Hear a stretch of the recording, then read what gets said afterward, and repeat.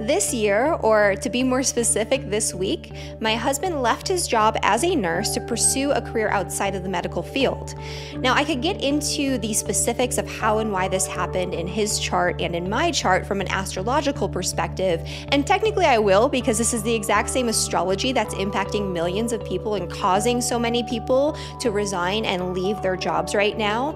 But before we get into that, I just want to give a little bit of a background about this great resignation and what's going on here so we're all on the same page. And before I do, if you're new to my channel, make sure you hit that subscribe button so you never miss an important astrology update.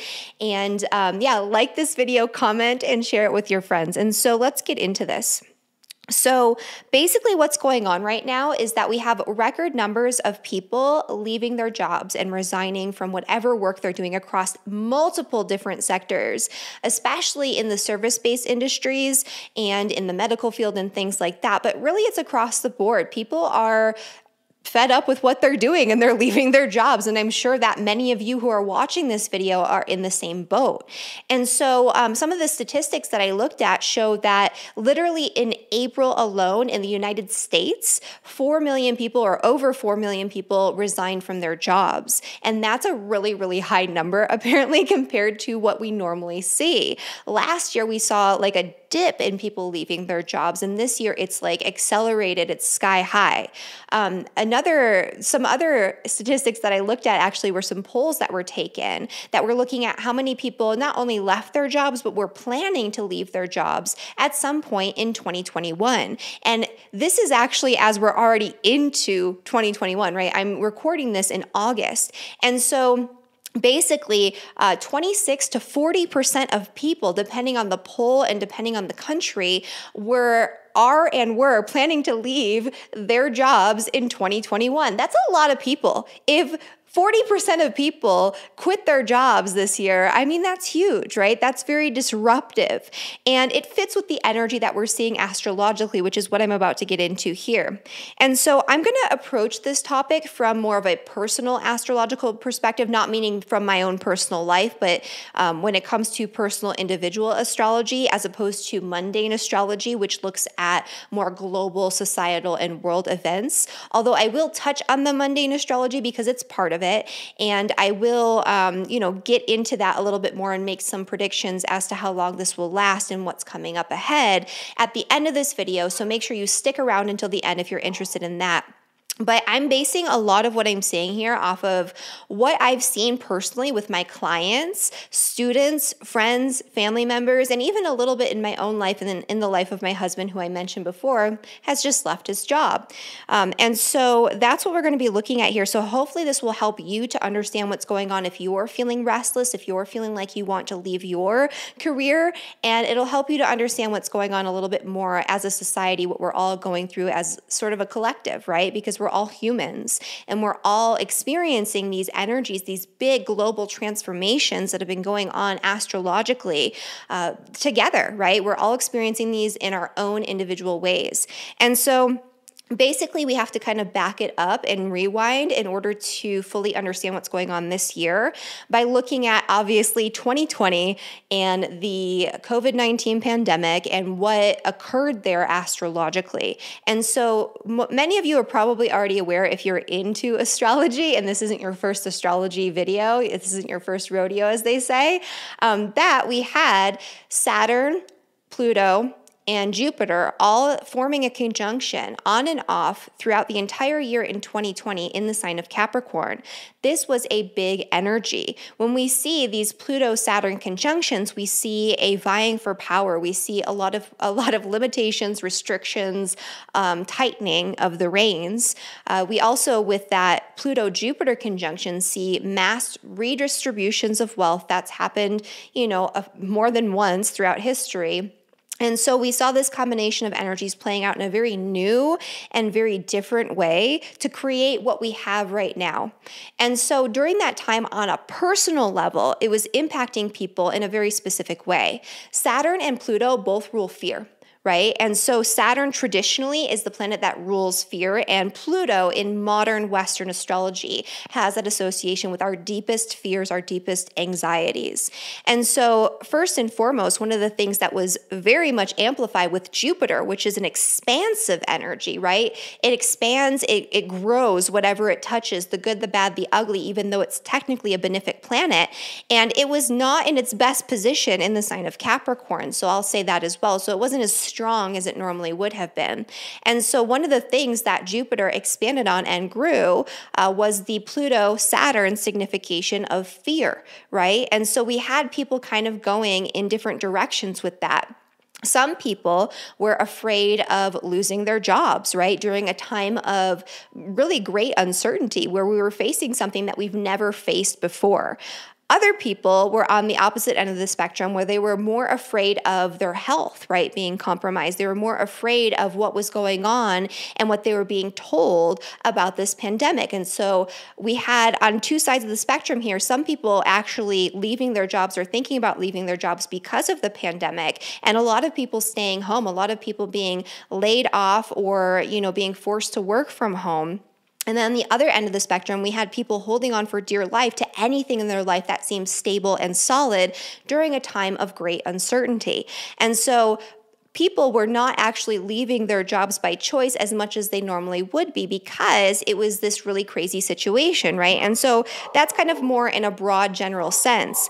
And so the other thing that was going on was that there was this very strong Pluto emphasis, right? And anytime we have Pluto, aspecting an area of our charts, it causes us to have to really get clear and focus in on what we truly and deeply desire. Pluto is all about our desires. And with Pluto in the sign of Capricorn, not even looking at these other planetary energies, it was about figuring out what structures in our lives were in alignment with our truth, were in alignment with our desires, and purging, right? That's another Pluto thing, purging and getting rid of anything that was not that. It doesn't mean that we purged it and threw it out all at once because Saturn was in the mix, right? Saturn causes us to have to do things the right way and not the fast way. And so we couldn't just throw out our responsibilities and just go crazy, right? And leave a giant mess for other people to clean up. We also had to really reflect on what structures were really stable and really solid that we wanted to hold on to versus what structures we actually needed to purge, we actually needed to get away from, we actually needed to let go of. That Saturn and Pluto combination is a big purge, it's a big cleansing. And it's a cleansing of rules, regulations, responsibilities, burdens that we're carrying that we shouldn't be carrying, right? That we don't want and that are not in alignment with our core truth and our core desires. And so last year, we all had a chance where we all had a chance to reflect on that and we were pretty much forced to across the board right? We had these really crazy really uncertain times. People were fearful on all ends of the spectrum of one thing or another depending on you know kind of where your belief system lies. And it, it was really time to take stock of things. People were at home. People were, you know, not out and about. People were not as distracted by other things, even though there were a lot of new distracting things going on. And so people got very clear. And I was seeing that with my clients too. People are figuring out, like, oh my gosh, you know, like I spend all my time at work, and now that I'm at home, my home life is actually a giant disaster. I need to purge some things. I need to think about this. I need to figure out what I truly desire here or oh my goodness i was out doing all this stuff and keeping myself busy and i didn't realize my relationship needs a lot of work. It needs a lot of attention. Maybe i need to go to couples therapy or i need to maybe get rid of the relationship entirely. Um, the same thing was happening for people with their work right? It was like okay now i have this time away from this and i'm not doing it in the same way and i'm realizing the way i was doing it was a burden. It was toxic. It was something that i need to detox moving forward well, this year, the energy provided ample opportunity for that. And so it still is, and it still will be for a little bit of time. So this year we have Saturn squaring Uranus, right? Saturn has moved into the sign of Aquarius. It's no longer in Capricorn. And we have Uranus in the sign of Taurus where it's been for a few years now. And they've been forming a square on and off throughout the entire year. It's been strongest at the start of the year this summer and it'll be very strong again at the end of the year um, in, you know, uh, November, December. And so basically what this has been doing is it's been really showing us where we have cracks in the foundations of some areas area of our life where things are not as stable as we thought or things are um, not as good as we thought they were, right? So basically, wherever this is showing up in your chart, you're seeing where your foundation is not solid. Or maybe instead of your foundation is very solid, but instead of building yourself a foundation for something that provides freedom and joy and sustainability and whatever it is that you actually wanted to create, you built yourself the foundation for a cage or a box and you are stuck, right? And people are feeling that frustration with the boxes that they've created for or built for themselves, with the structures they've created that are not serving them. And this is across the board, not just in career, right? Career is a big component when we're talking about Saturn because Saturn rules um, corporations, hierarchies. Um, it literally rules physical structures and things like that as well, but it does have that association with work, right? Saturn is work. um, and so, again, we're seeing that kind of on a global scale and on an individual level. But this is really anywhere in your life that it's being touched by this Saturn Uranus square, which is happening in the fixed signs, right? And so, if you're having this Saturn Uranus square, particularly in any of your angular houses, which are the first, the fourth, the seventh, and the 10th, you might be feeling restless or you might have already made a career change or started making moves toward making a career change this year. If you have this Saturn Uranus um, energy, in a conjunction or in any aspect really with your 10th house or your midheaven in particular, um, you might be feeling that push. You might be feeling that frustration. You might be feeling like, oh my gosh, I thought this was solid. I thought this was what I wanted. But look, this is a disaster now because, um, in addition to you know what's going on internally and what we are reflecting on and what what we are having disrupted kind of on a personal level or an internal level the external circumstances have disrupted a lot of different fields right? A lot of different um, job markets a lot of different areas when it comes to the work that we do out in the world. And it's showing us hey i thought this was solid. I thought i could do this forever but this little thing came in and you know we were missing this part to this car or missing this one thing in the supply chain or we had to close down, you know, for this time because of COVID, or now there's these new rules that we have to abide by. And guess what? It's not what I thought it was anymore. It's not solid, right? It's that Uranus energy. Uranus cause, causes disruption, it causes discord, it causes chaos, it shakes things up and liberates us. And then we have Saturn, which is the rules, regulations, restrictions that we have to abide by or the responsibilities that we've taken on. And so you can see that combination of energy where Uranus is disrupting um, these things that we once thought were solid from an external vantage point, but also internally because we're feeling that frustration, that need to move on. It feels like, you know, time is limited and we have to kind of rearrange and get where we need to go. And Saturn also rules time, and time has been feeling, um, you know, as, as kind of woo woo as this sounds, time has been feeling odd and disrupted especially this year. I was i've been talking to many friends about this particular circumstance where it feels like we're kind of like rushing but also delayed at the same time. And it feels like we're kind of being forced at certain pivotal moments to jump headfirst into something that we knew was coming that we knew we were going to change or do. But it's like we don't feel prepared. It's we're not ready but we're kind of being forced into this hole and we just have to figure out how we can fit and that's a lot of the energy this year, kind of in general.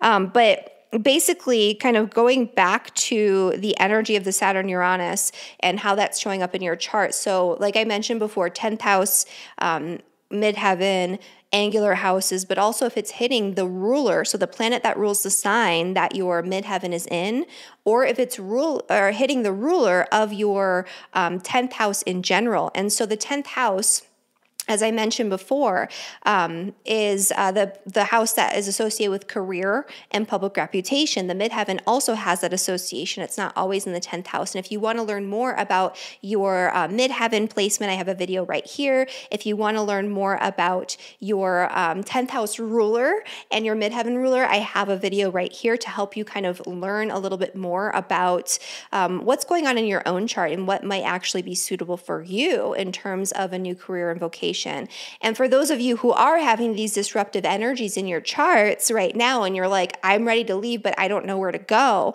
um, I'm actually doing an in depth webinar on August 28th. It'll be available recorded after the fact if you're watching this later, all about career and vocational astrology, about aligning your chart with your dream job. And I'm super excited to announce that we are actually offering this for the cosmic community, and you can uh, claim a seven day free trial membership right now at the link down in the description below so you can actually access this webinar and learn about your personal astrology and what it means for your career choices, what it means for your ability to be successful, what you need to align with to be successful and satisfied in your career.